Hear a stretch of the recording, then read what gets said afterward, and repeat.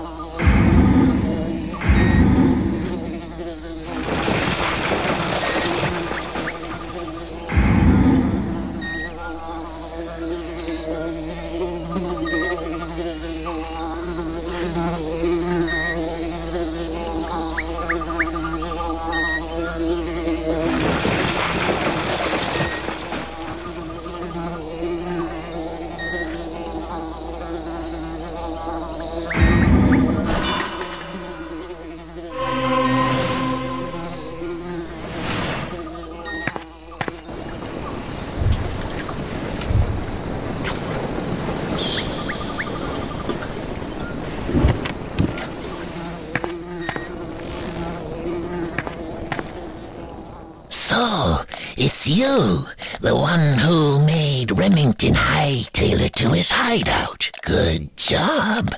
But you won't find him without getting inside the fortress, and it's a pretty solid one. Last time when the army's fleet attacked us, only the cannonballs were able to crush the walls. The massacre that happened afterward is Remington's fault. If he'd stayed true to the pirate way, we wouldn't have ended up like this. I have to warn you, though. He's still dangerous. Take this knife. It may come in handy.